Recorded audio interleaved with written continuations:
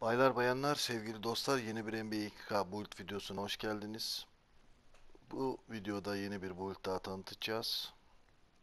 Bu arada kanalıma abone olmadıysanız abone olarak bana destek verebilir.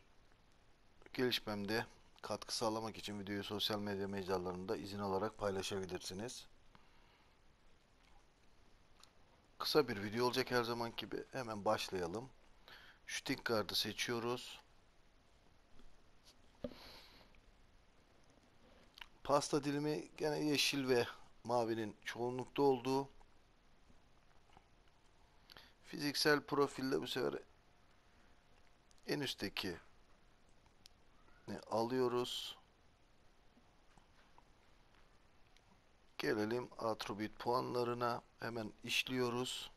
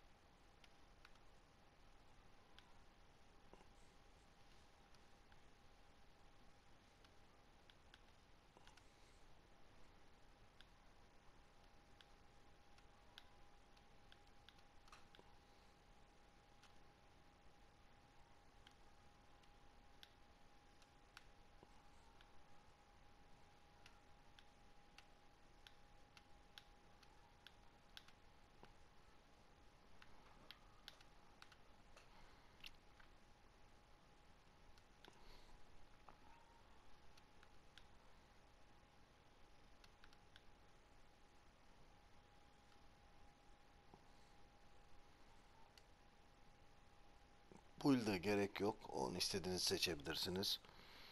O tamamen size kalmış. 6-5 boy yapıyoruz.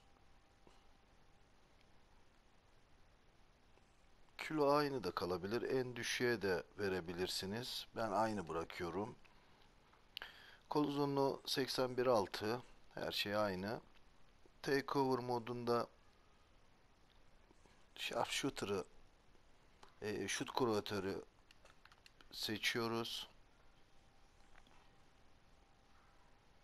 Ve Inside, Inside Out Scorer adında build açılıyor. Sherry Stackhouse, Zach Lavin, James Harden. Ne kadar doğru bilmiyorum ama James Harden her şeyde oynuyor demek ki. Daha çok Zach Lavin çıkıyor genelde ama bu videonun da sonuna geldik. Kendinize iyi bakın. Hoşça kalın. Benimle kalın, sağlıklı kalın.